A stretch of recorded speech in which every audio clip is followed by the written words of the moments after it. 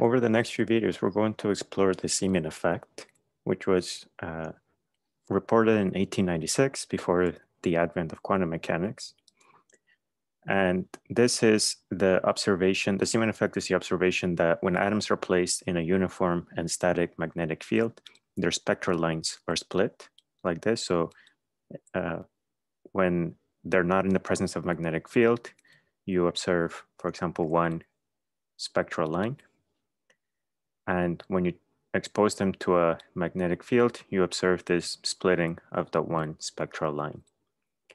To put it another way, uh, the energy levels of the atoms are shifted in the presence of a uniform magnetic field. So in this video, we're going to introduce and set the stage for, for this effect. And over the next few videos, we'll uh, treat this, uh, this new effect through perturbation theory. Uh, so the, the explanation for these observations actually rests on the fact that the external field, uh, the external magnetic field interacts with the magnetic moments associated with the orbital angular momentum and the spin angular momentum of the electron. So we'll, for simplicity, we'll treat this problem for hydrogen. Um,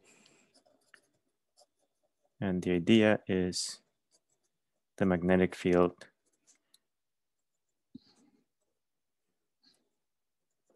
interacts with the magnetic moments.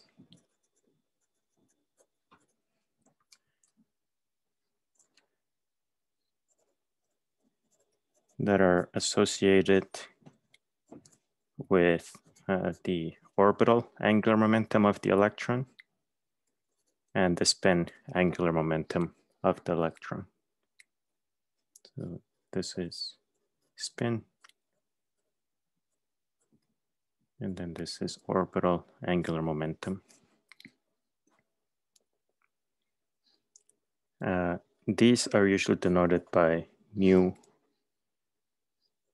L, and it's a vector for the orbital angular momentum and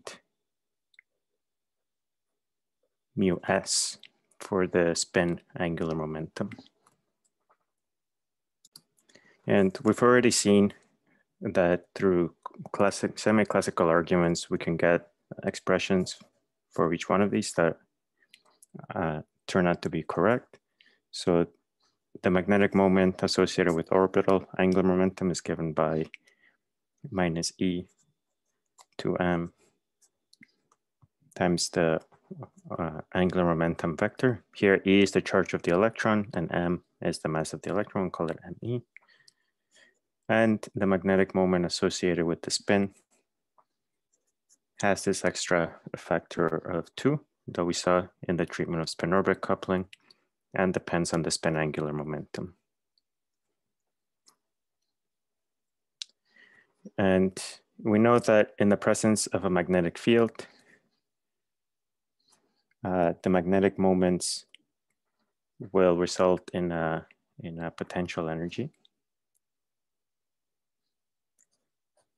So that our Hamiltonian, which we'll call the Zeeman Hamiltonian,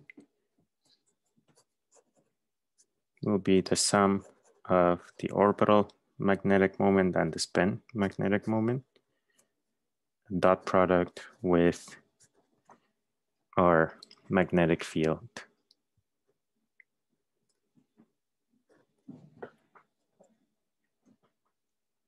And this is just the usual expression for the potential energy of a magnetic moment. A magnetic field is always mu dotted with B. So substituting in the expressions for these two quantities.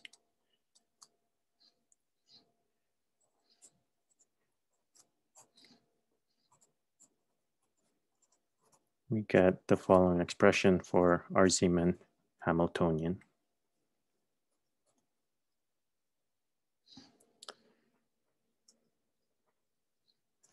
And this one we'll call uh, we'll start referring to this as the external magnetic field. So it'll have a subscript ext.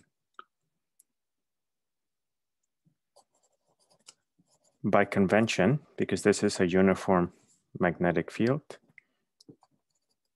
we are going to take uh, the z-axis to point in the same direction as the magnetic field. And we're free to do this because we're always free to choose the orientation of our coordinate system. So this is if the magnetic field is going in this direction, it has to be uniform, so it all points in one direction. We're just saying that this is the direction uh, of the z-axis. In that case, the Zeeman Hamiltonian reduces to the following expression.